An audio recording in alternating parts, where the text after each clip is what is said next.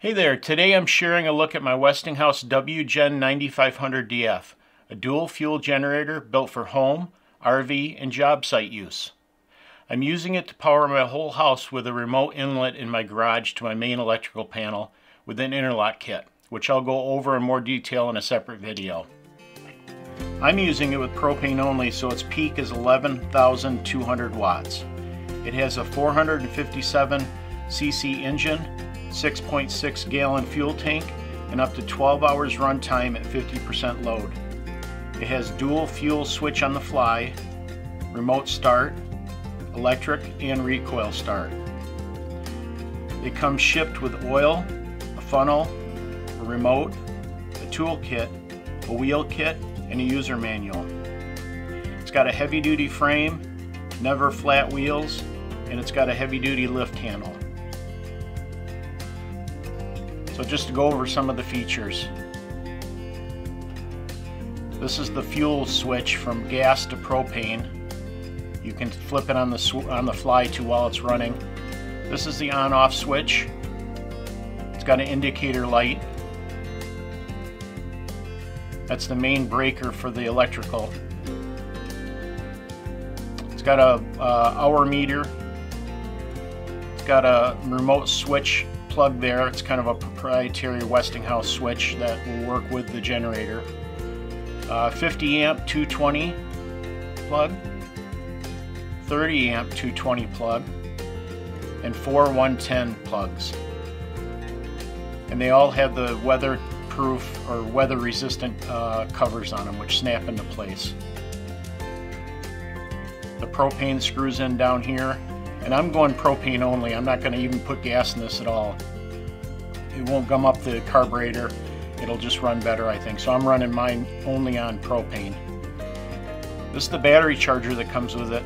Uh, I haven't used it yet, uh, but there's some specs there if you can read it. That comes with the generator. You can just leave it plugged in. It's kind of a trickle charger. The propane hose that comes with it is right here. I did add the gauge on it, the, the fuel level gauge. I don't know how well that works. I guess I'll find out. I got it on Amazon. Um, it shows it's full. I guess we'll see what it reads when the tank is empty. But it goes between the, the hose that came with the generator and the tank. And then a trick when you're hooking this up and you turn the propane on, it'll take the generator three or four tries to start. But if you kind of bleed the air out of, turn the gas on and bleed the air out of the hose, the generator will start much faster.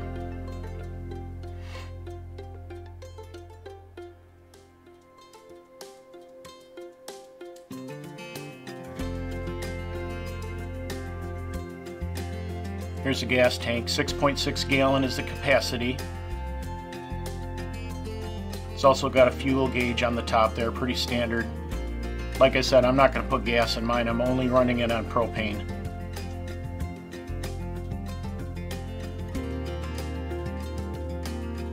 Look on the side here. There's the generator head unit there and the muffler. Pretty large muffler. Still a very loud generator though carburetor,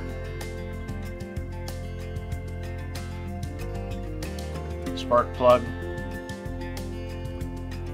choke. It's all automatic though. On this side, got the fuel cutoff under the gas tank there. Fuel cutoff under that, the red uh, fuel filter. Then the pull cord. If you got a dead battery, you can pull it manually. That's good to know air cleaner box there, easy to get at, easy access, like that. They've got the toll-free assistant number on the right on the frame, three-year warranty. Some specs there. Control panel's easy to read. Down below is the battery, and then the starter is the the brass colored unit there. That's the starter. And then you got a fuse, inline fuse to the starter. The oil drain is down below there at the bottom, you'll see it. And then this is the oil fill.